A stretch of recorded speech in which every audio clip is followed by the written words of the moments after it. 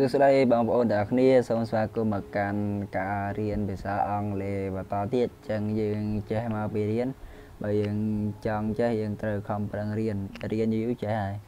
ចឹងសូមឲ្យបងប្អូនពេលមើលវីដេអូមេរៀនដែលខ្ញុំបានបង្រៀនខ្ញុំបានចែករំលែកហ្នឹងសូមបងប្អូនព្យាយាមកត់ពាក្យថ្មីថ្មីកត់ពាក្យដែលយើងមិនទាន់ចេះចូលមកក្នុងសៀវភៅមក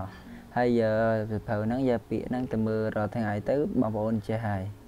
បងប្អូនធ្វើចឹងរាល់ថ្ងៃទៅធ្វើដែលដែលរាល់ថ្ងៃទៅបងប្អូននឹងចេះហើយសូមបន្តមើល They have a kite They have a kite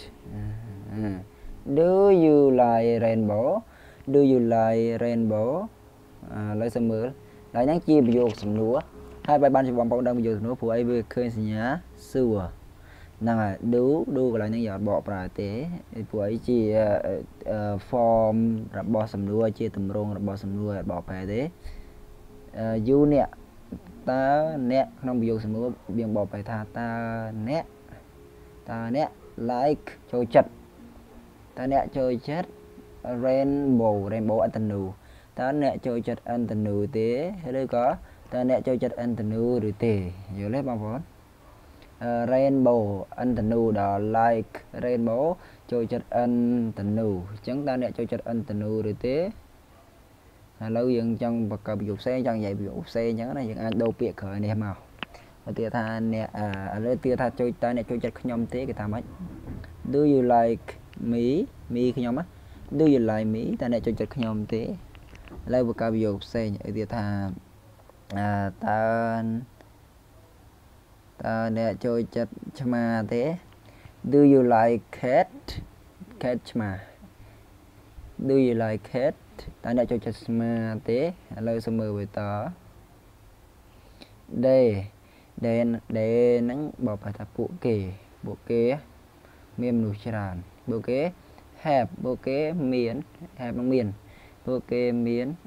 មួយដល់ kite ខ្លែងមួយដោយសារខៃនេះបបថាខ្លែង ខ្លែងយើងបង្ហោះបងប្អូនពួកគេមានខ្លែងខ្លែងមួយដែលពួកគេដែល have មានអញ្ចឹងពួកគេមានមួយ kite ខ្លែងមួយអញ្ចឹងពួកគេមានខ្លែងខ្លែងមួយឥឡូវបងប្អូនចង់និយាយប្រយោគផ្សេងចង់រៀននិយាយចេះបានច្រើនអញ្ចឹងណាដូរពាក្យចុងក្រោយមកដាក់មកអឺទៀតឥឡូវតែពួកគេមានឥឡូវទៀតថាពួកគេមានឡានមួយគេថាម៉េច ហ្នឹងហើយឡាន car they have a car ពួកគេមានឡានឡានមួយឥឡូវឧទាហរណ៍មួយចុងក្រោយទៀតឥឡូវសូមមើលឧទាហរណ៍មួយចុងក្រោយដូរពាក្យមកដាក់អីគេឥឡូវឥឡូវទៀតថាពួកគេមានកង្ហាលមួយគេថាម៉េច they have a fan fan កង្ហាល they have a fan ពួកគេមានកង្ហាលកង្ហាលមួយខ្ញុំសង្ឃឹមថាបងប្អូននឹងយល់មេរៀននឹងទាំងអស់គ្នាហើយនឹងរៀនចេះទាំងអស់គ្នា បងប្អូនជួយចុច Subscribe ហើយជួយចុចកណ្ដឹងផងដើម្បីទទួលបានមេរៀនអង់គ្លេសថ្មីថ្មីអត់ដែលខកខានសោះឡើយបាទសូមអរគុណ